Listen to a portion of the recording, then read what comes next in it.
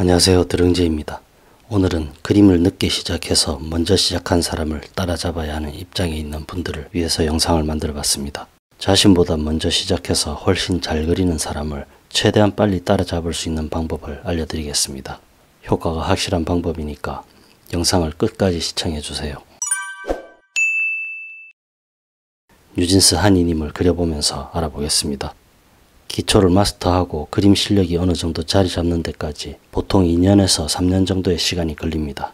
미술 전공자들을 예로 들면 그림을 보통 고1 때 가장 많이 시작합니다. 중학교 이전부터 시작하는 사람들도 있지만 대체적으로 고등학교 들어가서 시작하는 경우가 많습니다. 성적 안 되니까 미대나 가볼까 하고 시작하는 아니란 마인드로 그림을 시작한 사람은 실패할 확률이 높습니다. 어쨌든 전공자들이 평균적으로 2년에서 3년 정도 입시 그림을 배운 다음에 실기시험을 치르게 됩니다. 저는 입시 그림을 많이 늦게 시작했습니다. 늦게 시작한 탓에 준비할 기간이 짧아서 7개월 정도만 준비한 상태에서 실기시험을 쳐야 됐습니다. 3년 가까이 준비한 다른 입시생들과 비교하면 많이 늦었습니다. 그때 저의 가장 큰 고민은 먼저 시작한 사람을 어떻게 따라잡을까 하는 것이었습니다. 짧은 기간이라는 핸디캡을 어떻게 극복할 것인가 하는 것에 대해서 정말 많은 생각과 고민을 했습니다. 아무리 노력을 한다고 해도 경력에서 오는 차이는 무시할 수 없기 때문입니다. 뭐 결과적으로는 늦게 시작했다는 핸디캡을 극복하고 그해 바로 원하는 곳에 진학을 했습니다. 타고난 재능 덕 뭐 이런 거 아니었습니다. 그림을 대하는 그림을 그리는 방법의 문제라고 생각합니다. 그 시절 제가 사용했던 방법과 그림을 오랜 세월 가르치면서 생긴 경험을 더해서 늦게 시작했지만 빠르게 따라잡을 수 있는 방법을 7가지로 정리해서 알려드리겠습니다. 그림 경력이 몇 년씩 되시는 분들은 내용을 알고 나면 별거 아니라고 생각하실 수도 있지만 생각보다 효과가 확실한 방법입니다.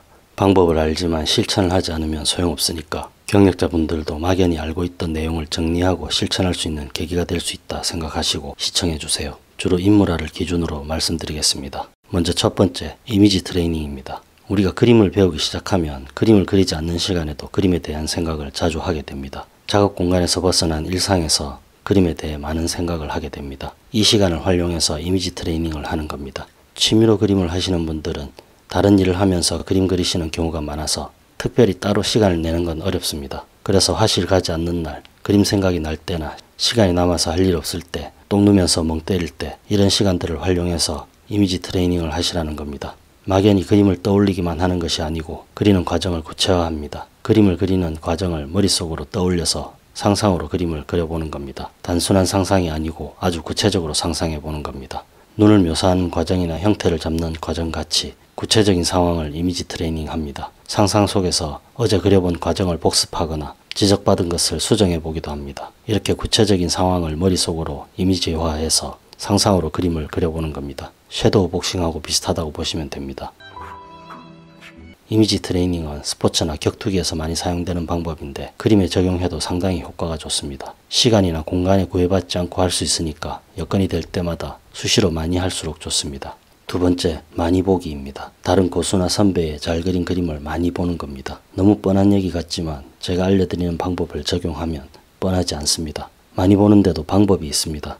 무턱대고 아무 생각 없이 많이 보기만 한다고 자기 것이 되지는 않습니다. 고수의 그림을 그저 잘 그렸다 감탄하면서 보기만 하는 게 아니고 그림을 세분화해서 디테일하게 관찰하면서 감상하는 겁니다. 머리카락 끝부분을 어떤 식으로 마무리했는지 속눈썹은 어떤 방법으로 그렸길래 저렇게 자연스러운지 입술의 주름은 어떻게 처리했는지 구체적이면서 세밀한 부분을 상세하게 관찰하면서 보는 겁니다. 내가 그린 그림과 비교해가면서 봅니다.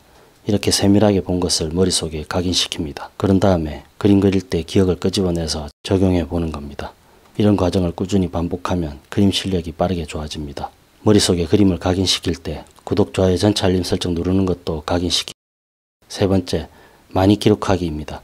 이 방법은 다른 영상에서도 얘기한 적이 있는데 먼저 시작한 사람을 따라잡는데도 중요한 사항이라서 다시 한번 알려드립니다. 여러 번 알려드려도 실천하는 사람이 많지 않습니다.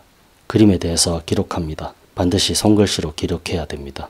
그래야지 천천히 생각을 정리하면서 기록할 수 있습니다. 내가 그렸던 과정을 기록하고 지적받은 내용을 기록합니다. 수정해야 될 부분도 기록하고 고쳐야 할 습관도 메모합니다. 두 번째 방법에서 고수의 그림을 관찰하고 머릿속에 각인시킨 내용도 기록해두면 좋습니다. 닥치는 대로 많이 기록하는 겁니다.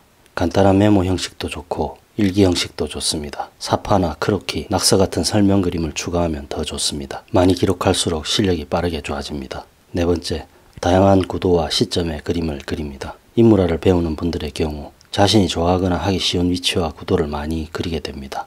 주로 정면을 많이 그리죠. 그래서 지금까지 그린 그림을 쭉 모아놓고 보면 증명사진을 모아놓은 것 같은 이렇게 좋아하는 구도와 시점의 그림을 주로 많이 그리는 것은 그림 실력 향상에 방해가 될 수 있습니다. 같은 구도 같은 시점의 그림을 계속 그리는 건 좋지 않습니다. 근데 좋지 않다고 하면서 저는 지금 그렇게 하고 있습니다. 제가 지금은 요따구로 비슷한 구도의 그림만 그리고 있지만 예전에는 정말 다양한 구도와 다양한 시점의 그림을 많이 그렸습니다. 그래서 저는 이렇게 해도 됩니다. 그림을 배울 때는 뻔한 구도나 선호하는 방향의 그림을 반복 연습하는 것은 좋지 않습니다. 미대 입시의 경우 당락에 문제가 있기 때문에 어쩔 수 없이 안전빵에 뻔한 구도를 연습하기도 합니다. 그런 미대 입시생도 가끔씩 독특한 구도나 평소와 다른 시점의 그림을 그려보는 것이 실력 향상에 좋습니다. 같은 주제라고 해도 다양한 시점으로 접근해서 그려보는 것이 관찰력도 키우면서 형태 감각도 좋아지고 생각의 폭을 넓힐 수 있어서 그림 실력 향상에 많은 도움이 됩니다. 다섯 번째, 형태나 스케치 연습을 따로 주기적으로 하기입니다.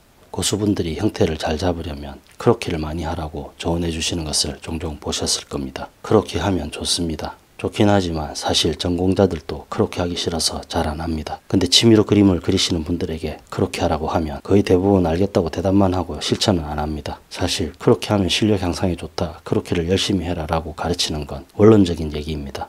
실용적인 면에서는 그렇게보다는 자신이 주로 그리는 주제나 좋아하는 대상의 형태 스케치를 주기적으로 연습하는 것이 실천하기도 쉽고 더 효과적입니다.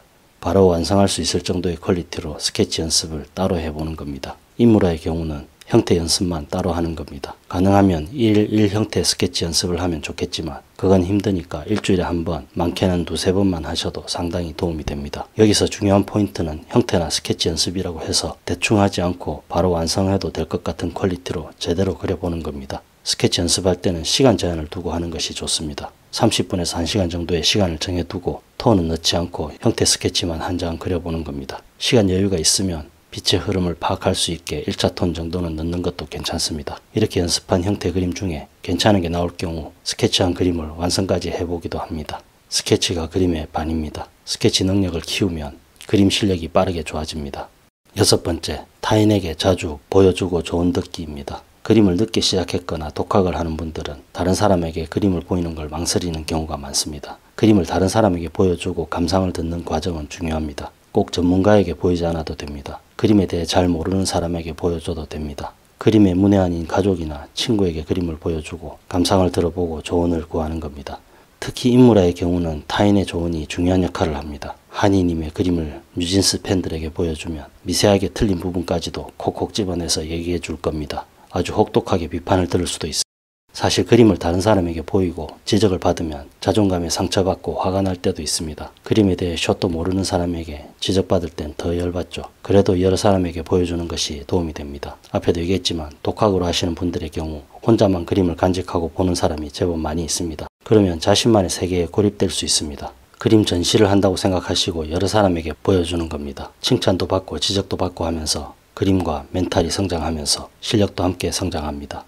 일곱 번째, 다양한 관점에서 그려보기입니다. 네 번째 내용과 겹치는 것처럼 보이지만 다른 내용입니다. 그리는 대상의 위치나 구도를 말하는 것이 아니고 그리는 환경을 말하는 겁니다. 이번 방법은 너무 자주 하기보다는 가끔씩 시행하는 것이 좋습니다. 그림을 다양한 장소와 다양한 시점에서 그려보는 방법입니다. 대상을 보는 관점에 변화를 주기 위해서 그림을 평소와 다른 곳에 놓고 그려보는 겁니다. 바닥에 눕혀서 그려보기도 하고 평소와 전혀 다른 장소에서 그려보기도 합니다. 주로 사용하던 재료와는 다른 재료로도 그려봅니다. 컬러도 그려보고 모노톤으로도 그려봅니다. 생각을 바꾸고 관점을 바꾸는 과정입니다. 다양한 시각으로 그림을 객관화해서 그려보면 그림 실력이 빠르게 좋아집니다. 이 방법은 너무 자주 사용하면 산만해질 수 있습니다. 기분 전환한다 생각하시고 가끔씩 실천해 보는 게 좋습니다. 그러면 실력 향상에 아주 많은 도움이 됩니다.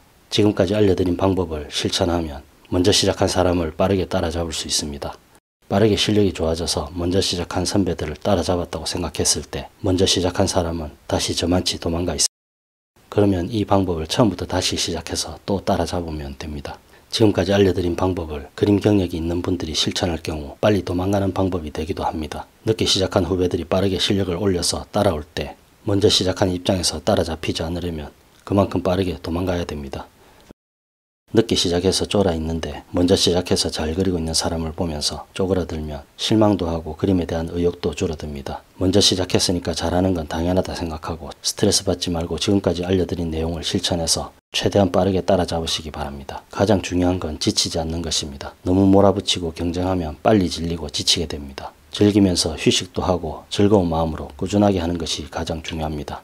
지금까지 뉴진스 한이님을 그리면서 그림을 늦게 시작했지만 먼저 시작한 사람을 빠르게 따라잡는 방법에 대해서 알아봤습니다. 구독, 좋아요, 전체 알림 설정 부탁드립니다. 감사합니다.